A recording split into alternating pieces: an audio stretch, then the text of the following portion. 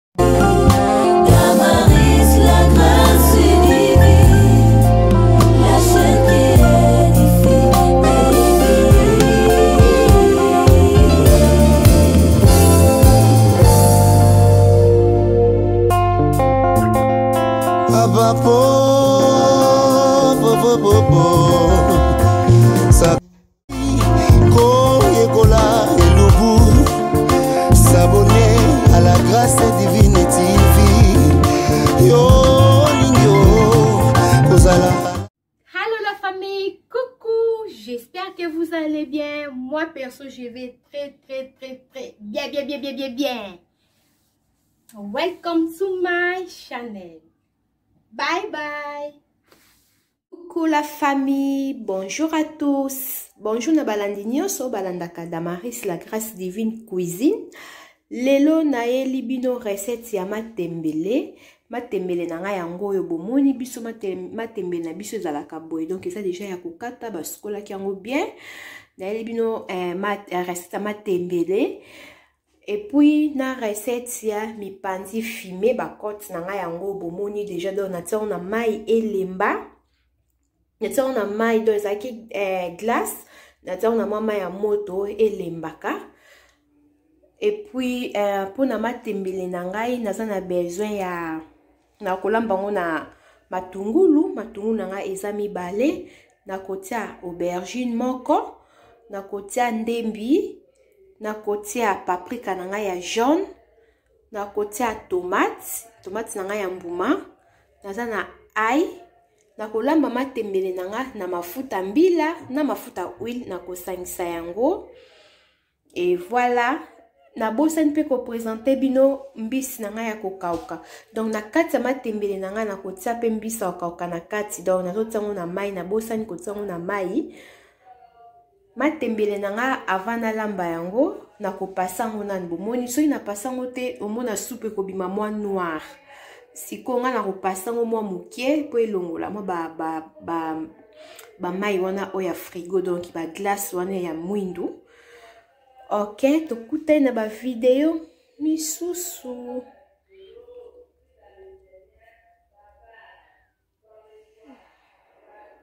merci Coucou la famille, nde nayebisaki bino lelo naza na, na, na, nayeli bino recette ya matembele na bacote fumie na ngai yango oyo mafuta na ngai ya matembele deja natiaki na moto yango wana nazozela ekoma mpenza eh, rouge makasi te mwa fulufulu wana kaka esila donc naolinga te ekoma lokola huile nasangisi yango deja na huile kala te nazotia deja biloko na ngai oyo nauti kokata yango oyo bomoni nabimbi mwa moto ya mafuta ndambu biloko na ngai na kati nasangisi yango nyonso esika moko sauf matungulu na kokalinga nao matungulu na ngai apart donc ngai nabanda no na kokalinga matungulu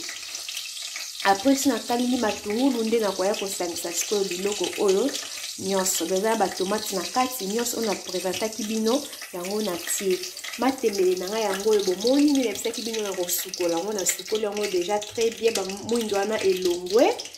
ai nanu na tie te esikoyo mafuta na ngai echauffe c'est bon deja nayebisaki bino na kolinga te nalongola yango nanu na mwa moto nakozela nomo moto ekita sino te ekosote makasi e awa siko mpo na mipanzi na nga na te eh, ngai nasalaka boye bato mosusu lokola eza deja filme bazwa yango kaka peut-être eh, bakoti bongo mbala moko na four bon mm, eza mpe problème te soki olingaka bongo okoki osala bongo me ngai nasalaka bongo te ngai nakolakisa bino ndenge ngai nasalaka ngai nasala yango boye natie mwa litungulu mwa ai nde kaka totokisaka nyama normal donc na nde kaka totokisaka misuni normal eh? so osombi mwa nyama na yo oyo ozotokisa otie mwa litungulu mwa ai nde kaka ezalaka nga mpe na kati yango bomoni natie mwa jimbo na nga ya moke ya ngulu mpo eza mipanzi ya ngulu natie mwa de feuille de laurier na nga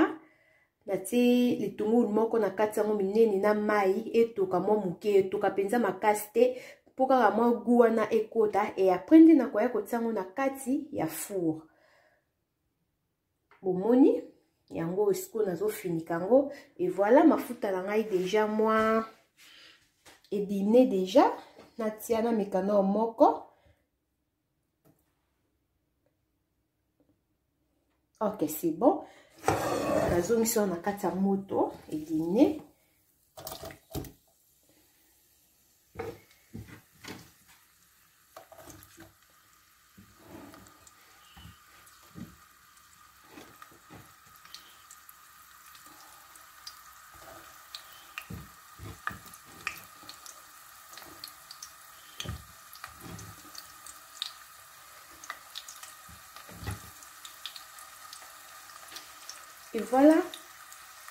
matungulu na ngai yango natia yango deja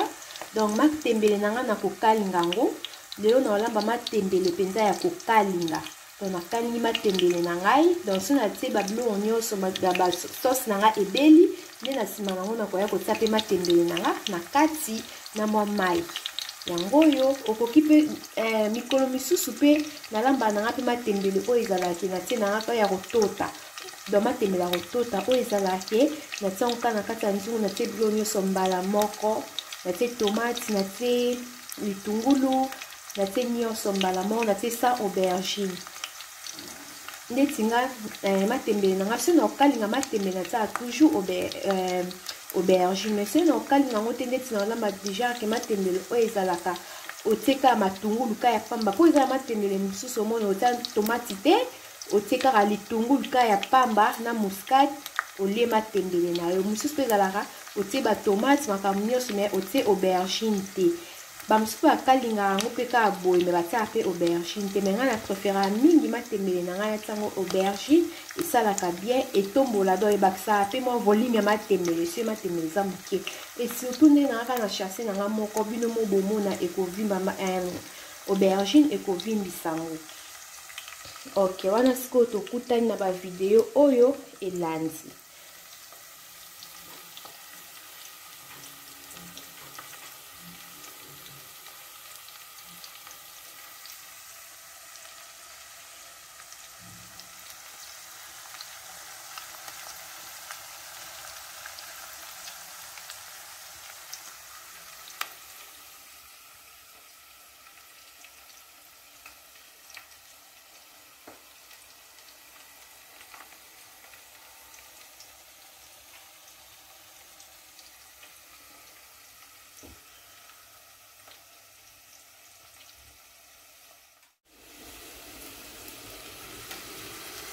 et voilà la famille Eh, matungulu na nga yango oyo bomoni, matungulu na nga ebeli. C'est bon déjà. Sikoyo nakotia ba ba épices na nga oyo nakataki. Nazotia yango.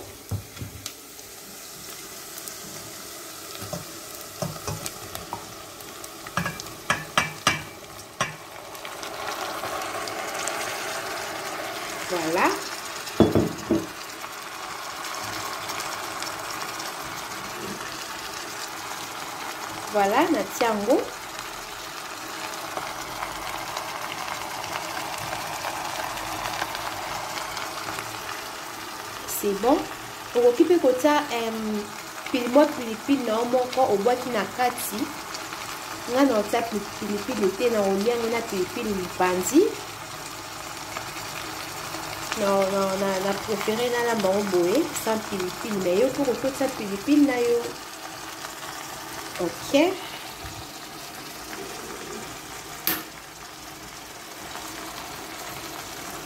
nazokata mpo nabalola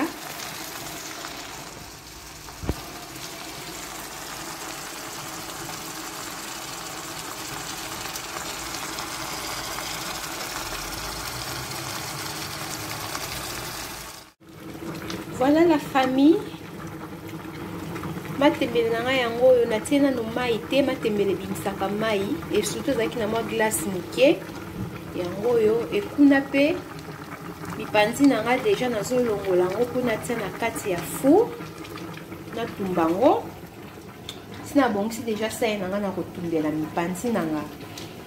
nazolongola yango nazokata ok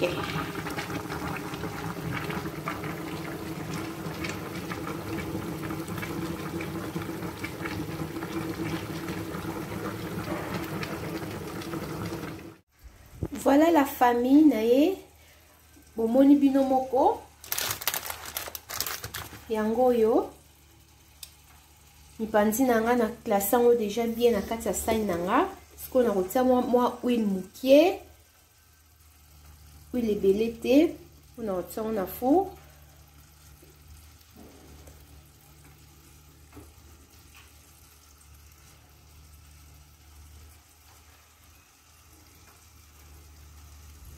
voilà nakotika yango sikoyo nakotia yango sikoyo na kati ya four etumbama ekoto mpe matembele na ngai ezotoka natie moto na se mai na ngai oyo natokiselaki mipanzi na kobwaka yango te nakotia ndambo na kati ya matembele na ngai avant natia mbisa ya kokauka donk nakosangisa mai na ngai oyo mpo eza mpenza gout natiaki yango ba épice donc euh, awa nanu natie ai te tout comme mpe nakoki mpe suku kotia ai te parce que na kati ya mai oyo natokiselaki mipanzi na ngai eza deja na kati ya ai e na kati eza deja na ai pardon e voilà nakomeka soki epice ekoki se mungu ekoki se mungu ekoki te nde nakoya kobakisa baepice na ngai oyo nalakisaki bino ya pondu na ya, ya, ya soso okay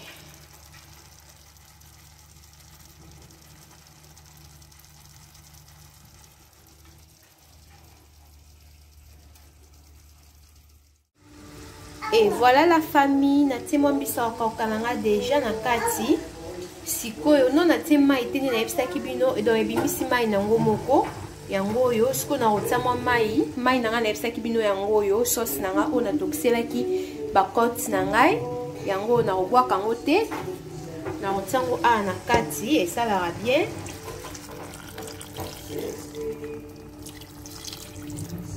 nalongola fei wana nazolongola fei wana nazobalusa yango apres nakofinika yango ok Hallo la famille, bomoni na tie deja mai sikoyo nazofinika eh, nzungu na ngai nazofinika nzungu na ngai natie deja mai sikoyo nazofinika nzungu na ngai etoka ok wana tokutani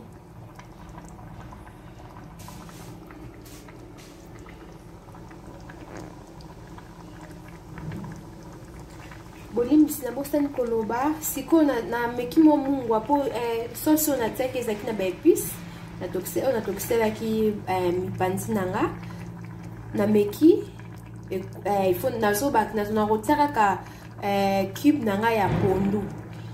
cube ya soso nakotia yango susu te parce que soki natia nyonso mibale ekoya koyokana sikoyo nakotia kibe na ngai ya, ya pondu nde apres nafiniki ok merci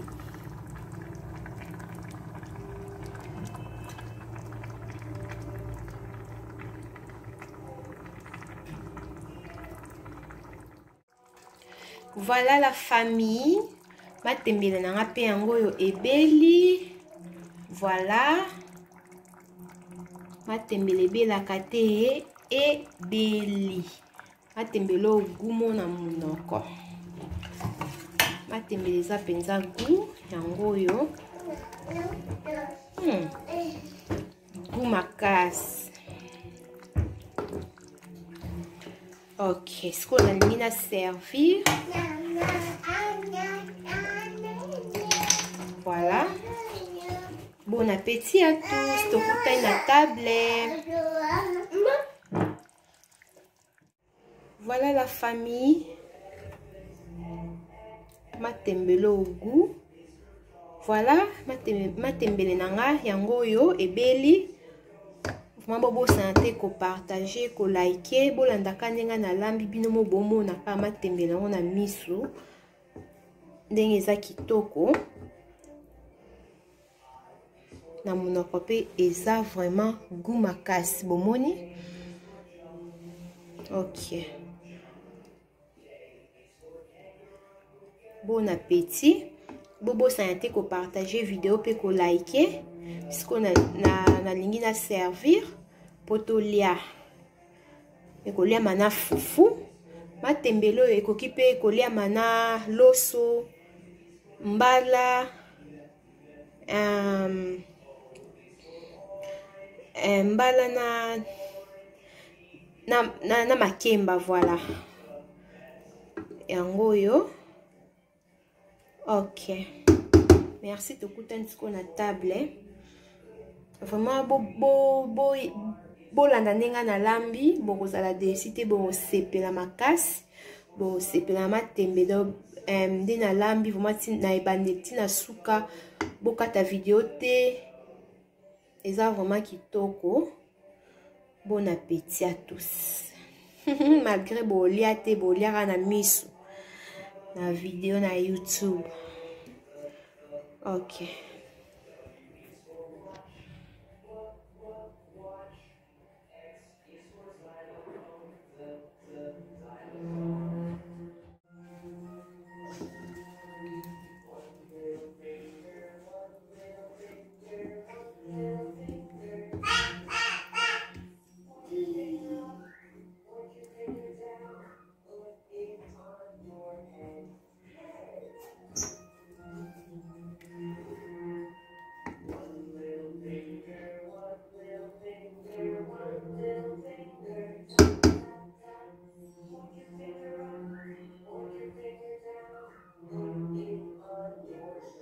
Coucou la famille, mipanzi na nga yango oyo, mipanzi na nga ebeli.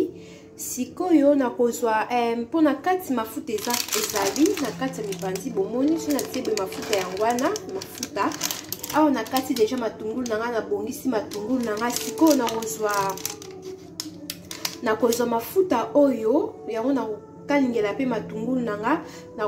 nakobakisa mpe su mafuta moke parceke awa eza na mpe mafuta mingi te mai lokola natiaki mafuta na mafuta mipanzi ebimi yango wana bozomona yango nakozwa na kosangisa na kobakisa mwa mafuta na ngai moke nakalingi matungulu après r nakokalinga matungulu soki matungulu ebeli nde nakoya kozwa mipanzi na ngai oyo natumbi nakoti na kati ya matungulu wana yango wana sikoyo nakosala comme décoration na nga ok tokutani matembele na ngai ezotoka kaka kala te ekobela donc topesa yango kaka ba 5 minutes ok Voilà la famille nde kaka nayebisaki bino mipanzi na ngai soki matungulu na ngai ebeli nakosopa yango na kati nasopi yango na kati ya matungulu na ngai donc nakalingi matungulu après nazwi mipanzi na ngai natumbaki nasopi yango na kati sikoyo nazobalola donc nde kaka tosalaka makayabu nazobalola liboko moko naokata donc nazobalola natie matungulu eloko te parce que mipanzi na nga eza deja bien eza deja mungwa deja eza ya kokoka baepice ekotisi na kati en tout cas gout makasi sikoyo nazobalola naotika yango etuka kaka pendant 3 minutes e apres nakokanga mpo ebeli matungulu esi ebeli mipanzi na nga mpe eza nango ya obela donc natiki yango kaka solo mpenza matungulu e eh? gout ya matungulu ekota mpenza na kati ok tokutani Voilà la famille mipanzi na nga ebeli nde kaka nayebisaki bino donc ekoki nango mingi te parce que nazokalinga yango te nalingaki ka mwa gu wana ekota na kati po esala euh, mipanzi na nga bien ekota mpena gu ya matungulu voilà sikoyo nakotia yango na sani Nini ebisa bino matungulu ezaka pona decoration et puis goût wana esala mipanzi bien. Voilà, donc na seno quand tosala makayabu, ce tokalingi makayabu na biso après tosali sauce tozongi sauce na kati ya moto. Donc nde pe nga nasali mipanzi na nga na na tokisa yango mwa moke na tumbi yango après sikoyo nakalingi matungulu na nga ali na sopi yango sikoyo na kati ya matungulu na nga na baloli donc ewumeli te na moto faut pas ewumela so ewumeli wana ekomi mipandi soki mpo ezokaninga e eh?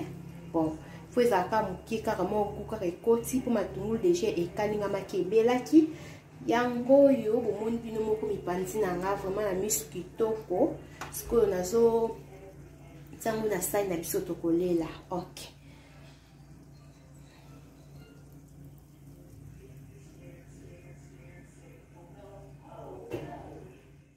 Voilà la famille, mipanzi na nga yango yo. Mm -hmm. Goût makasi, bino mo bomona kaka. Bino mo bomona kaka na misu donc eh, goût makasi surtout na munoko. Eh, eza vraiment goût bomeka bopesa nga raison donc ebongi makasi la famille. vraiment bolandaka ndenge asali mipanzi oyo bozala desi te eza mpenza kitoko makasi bino mo bomonaka na miso sikoyo mipanzi ya boye na kwanga la famille soki bolia yango na kwanga obie na fufu na pilipili donc gu makasi vraiment bobosana te kolike sikoyo mipanzi na ngai nasilisi deja natala sikoyo matembele na ngai matembele na ngai mpe deja ebeli natala sikoyo matembele ok mpo na mipanzi na ngai yango oyo voilà coucou la famille voilà matembele na ngai yango oyo bomoni bino moko na servi deja matembele na ngai yango oyo kala te tolingi tolia emipanzi na nga mpe yango oyo bino moka bomoni bozomona mipanzi na nga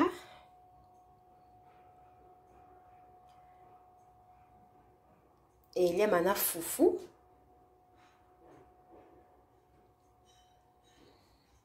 mwa safu pembeni reference ya baka ya bakongo ya batandu yango safu na likaya basalaki ndeke ok yango oyo voilà la famille vraiment bobosana te kolike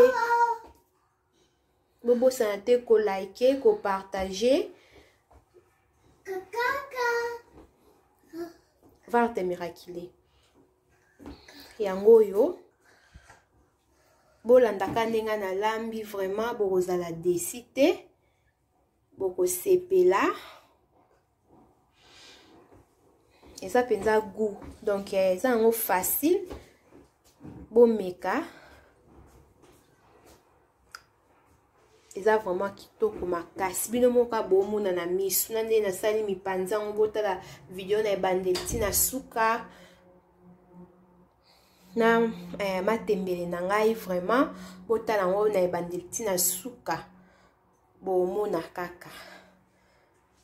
soki mpe eza deja na motu oyo alambaka boye ndenge ngai nalambi eza problème te baye balamba boye te baye baza mpe na ndenge na bango balambaka bameka mpe susu ndenge ngai nalambi boye recette oyo en tout cas eza vraiment kitoko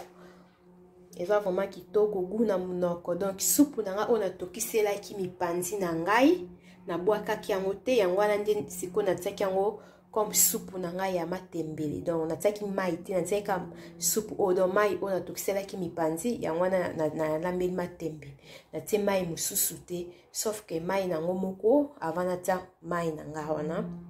ya mipanzi eza vraiment goût eza mpe na bato misusu soki alambi, eh, alambi matembele na ye boye okoki akoki mpe kosangisa mpe mipanzi na kati me ngai nasangisi te